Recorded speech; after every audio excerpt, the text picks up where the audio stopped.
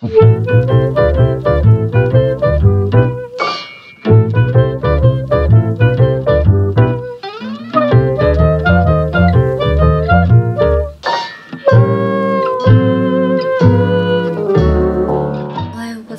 かも私めっちゃ声枯れてる。どうしよう。しかもちょっと目の調子がめちゃ悪まあ免疫力が下がってるのかアレルギーなのかわからないんですけど今日はですね休みということで休日 Vlog みたいなのを撮っていこうかなと思います。今9時です。昨日3時に寝たんでめっちゃ眠い。動こう。すごい神々しい目薬したらね目の赤み引いたけどやっぱり赤いので今週はカラコンを控えようと。下地はねあのシュウウエムラのアンリミテッドブロックブースターの、まあ、メイクアップベースですね。ちょっとねくすんだラベンダー系の色。これめっちゃハマってる。しかもマジで崩れ今日はちょっと今から天神に行ってそっからまた時間が空いて夜はちょっと離れた町に行くので車を使います。なのでまあドライブ Vlog じゃないけど撮ってみようと思う。もうほぼナチュラルメイク。お腹すいた車がね台風で最強に汚いのでちょっと掃除洗車して向かいます。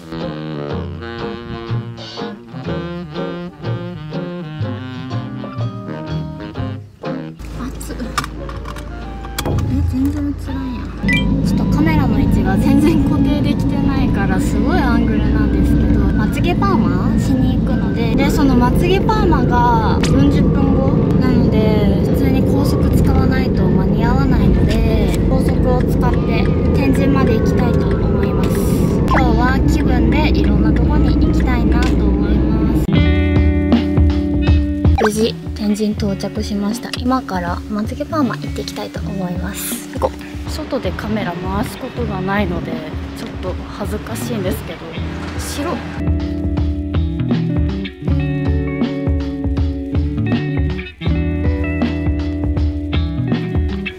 んにちは。こんにちは。みほさんです。よろしくお願いします。こんにちは。白めっちゃ白い。なんか白い。お願いします。ツタンカーメンみたいな。ツタンカーメンああでもそんな上は痛くない。痛くないですか？上は痛くない。ななんか下が痛い。膝がちょっと痛い。はいで中はカットしないでおきます。はい。ハゲかけてる。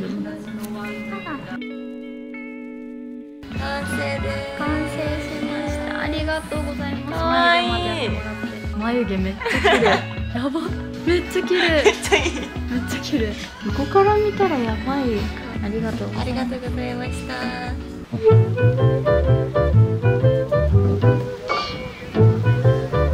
暗いんですけど今ちょうど車に戻ってきたんですがメイクアップフォーエバーのグリッター買いました。撮影でねあの使っていただいて気になってねやっぱ欲しくなっちゃって買ったんですけど。で今ね14時なのでちょっと移動してすっごく行きたかったカフェに行こうと思います。空いてるかな、まあ、空いとると思うけど立体駐車場は狭くて難しい。誰もすれ違いたくないな。今からですねテリハにあるスピカクラシックケーキというケーキ屋さんカフェに行きます。天神とか博多からは、まあ、約車で30分とかかな。ずっとね行きたい行きたいって思ってたんですけどなかなか行く機会がないのと場所も場所なのでちょっと天神とか都会から離れ最近はねモチベが全然上がらないのとやることが多すぎてね頭がいっぱいいっぱいになってたので一人カフェしていろいろな頭の中整理したいなと思って行ってきます。これ生レモンケーキ一つと、アイスコーヒーあどうしようかな。アイスコーヒー一つ、以上で。す、ス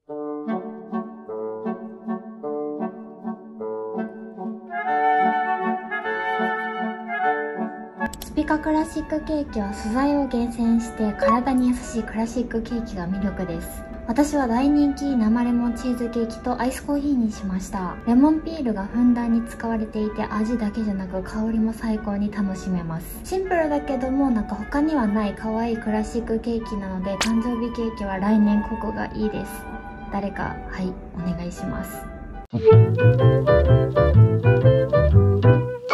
から出発カフェ美味しかったで夜ご飯を6時半に家族と集合して食べに行くんですけどそれまで約2時間ほどあるので一旦合流する前に最近神社巡りハマってるので一番近いカシー宮に行きたいと思いますちょっと御朱印帳を今年買ってね神社巡りハマっててすぐ行けるとかたどり着くか心配です全然人いない。誰もいないんですけど。御朱印今日書いてもらえるかな？わ大きい。神社のご神木を見るとなんかトトロがいるんじゃないかなっていつもワクワクしちゃう。カシー郡のご神木こちらです。ジョージョ大きい。私は神社も好きなんですがご神木見るのが好きです。開いてないっぽいですね当面の間紙での私そっか。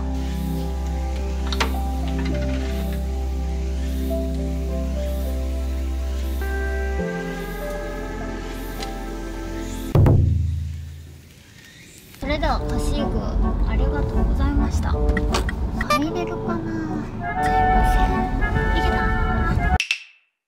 夜はドライバーを交代してお父さんが運転します。私がもう小学生ぐらいから通い続けている宗像にあるカレーの道に行きます。ここのね、カレーは普通サイズでもかなり大きいんですが、私はカレーが大好きで、いつも絶対に大盛りにします。もう本当にここカツカレーしか私食べたことないんですけど、まあ、ポークとビーフカレーがあって、甘口のポークかな？を私はいつも選んでます。お腹いっぱいになるし幸せだし、ほんと満足できるカレー屋さんです。カレーの具材はね、もうほとんど溶けているので、すごく食べやすいですし、じっくりと煮込んであるこのルーがね、たまらなく癖にになります。結構甘めなので、カレー甘口が好きな方はぜひ、福岡に来た際寄ってみてください。